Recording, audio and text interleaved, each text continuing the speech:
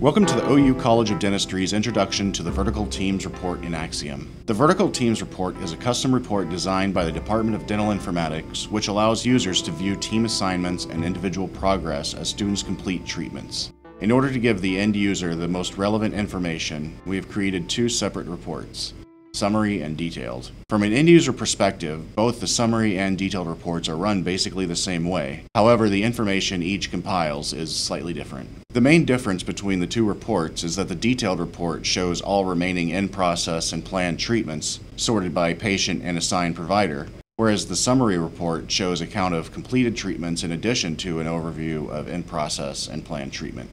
With these differences in mind, let's see what this process looks like.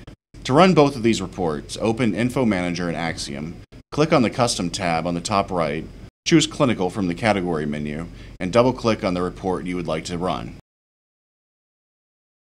A pop-up window will open asking for the vertical team or teams for whom you would like to run the report. You can add individual vertical teams for the discrete value drop-down, Burgundy Team 2A for example, and clicking Add or if you want to see a range of two or more vertical teams, such as Burgundy 2A through 2G, choose the first value from the start of range dropdown and the last value from the end of range dropdown and click Add. It's very important to remember to click the Add button or the selected teams will not be added to the search query.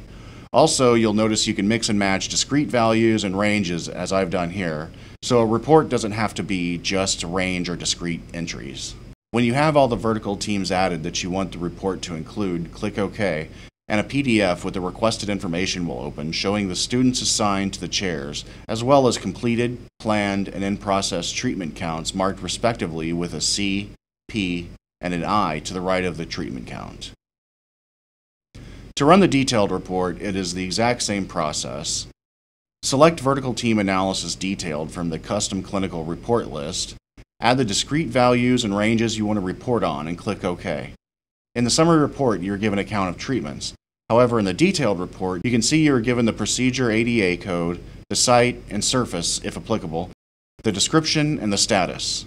Also, if a patient has not been seen for 90 days or more, their name will appear maroon. Otherwise, their name appears in teal print.